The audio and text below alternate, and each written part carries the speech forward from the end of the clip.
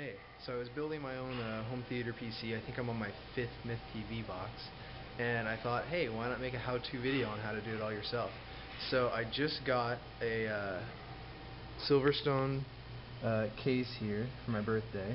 And it's huge case. I'm going to have a review for it on my site. But uh, it has tons of room for a full ATX board and quite a bit of other good stuff.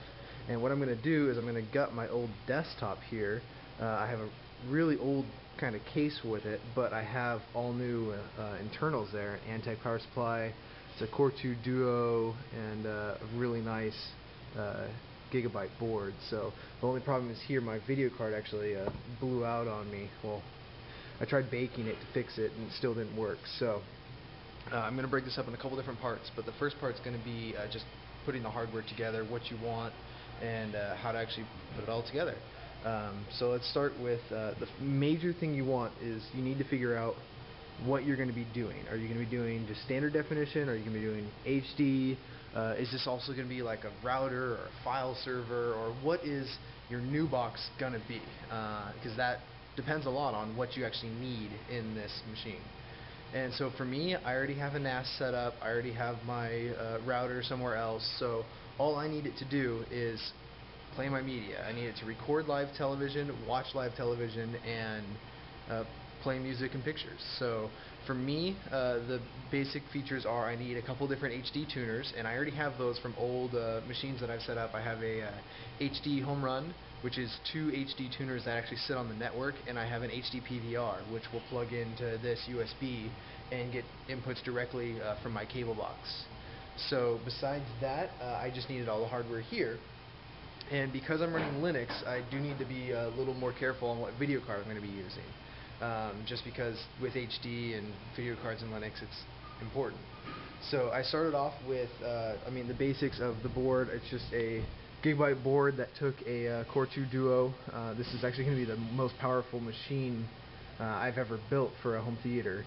And the Core 2 Duo is clocked, I think, at like 3 or it's like 2.6 gigahertz uh, which is a good good clock speed for HD. You don't want anything below, I'd say 2 gigahertz. It just gets really taxing on HD. If you're recording and watching HD at the same time, it really taxes that processor.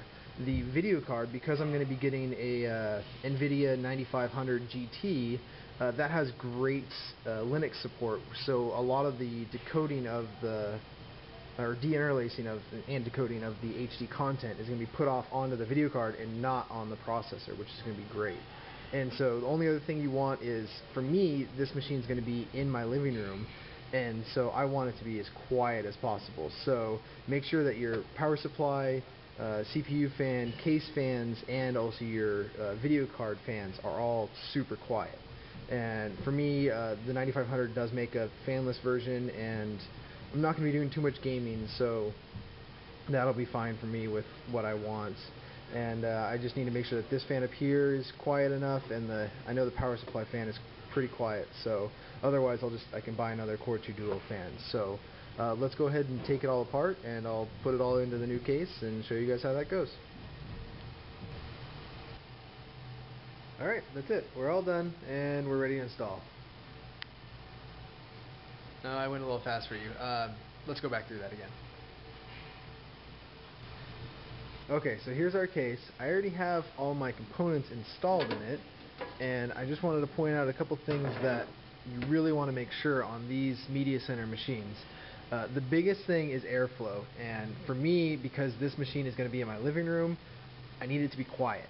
And so I opted for this uh, MSI, um, makes the NVIDIA 9500 GT, and the awesome thing about it is it's completely fanless. There's just this huge heat sink on the back. Make sure, make sure, make sure that you have clearance.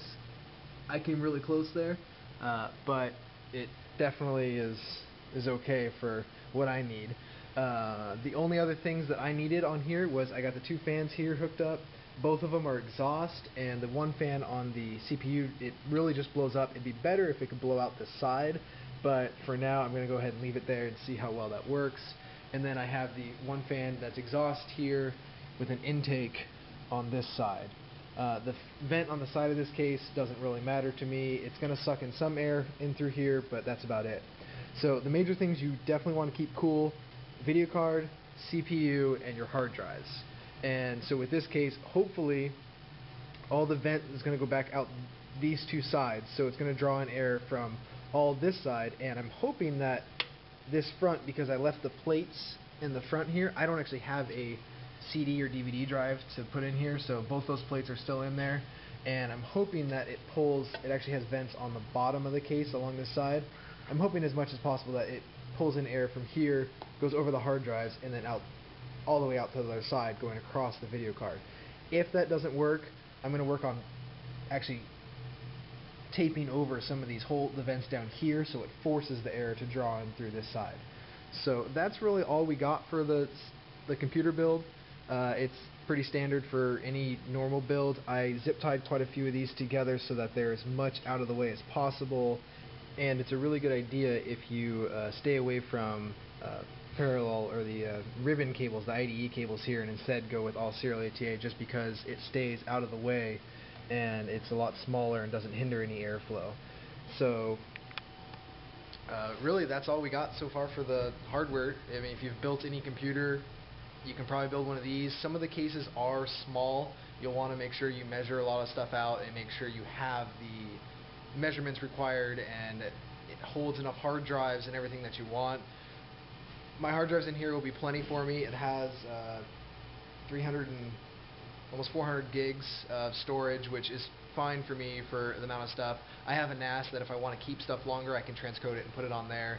Uh, so if you do, if you don't have something like that, make sure this will hold enough hard drives, physical hard drives, and also that the board will support if you want like a two and a half terabyte drive, you need to make sure the board, you know, the chipset on it can support that. So otherwise, uh, this system's all ready to go. And I'm just going to go ahead and install uh, Mythbuntu on it because it's a pretty easy way to get Myth TV on any machine. So uh, check out the second video for that. I'll walk you through setting up all the tuners and guide information, and then we'll be watching TV in no time.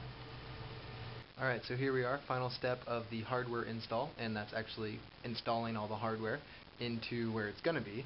And hopefully you measured everything out carefully with uh, your rack or whatever your home entertainment equipment is sitting on or in so that you have plenty of space for everything. Especially with mine because it's such a big case, uh, I need to make sure that it all fits. So here's uh, the case right in front. I got everything here. I have a nice big opening there, ready to go. It's it's a very tight fit, but it still works. Got my cable box, uh, HDPVR over there, receiver, PS3, and the TV there. Uh, before actually doing the software install, I highly recommend actually when you're doing the install to have the machine plugged into the TV, especially with Myth TV. If you're doing it on a monitor somewhere else and you're not quite at the exact location or you don't have all the hardware, for mine I have the cable box that needs to be here as well as the HD PVR and the uh, HDHomeRun and if I install it at work or install it at my desk I don't have the same network setup so I need to make sure that it's installed exactly as it's going to be used. It just makes everything easier. So I highly recommend installing everything. Where it's going to be not great if you have other people that want to use the TV or only one TV but uh, it works the best. So once you clear all the cats out of the way uh, you'll be ready to go. So final step or next step I guess is uh, doing software. Let's start there.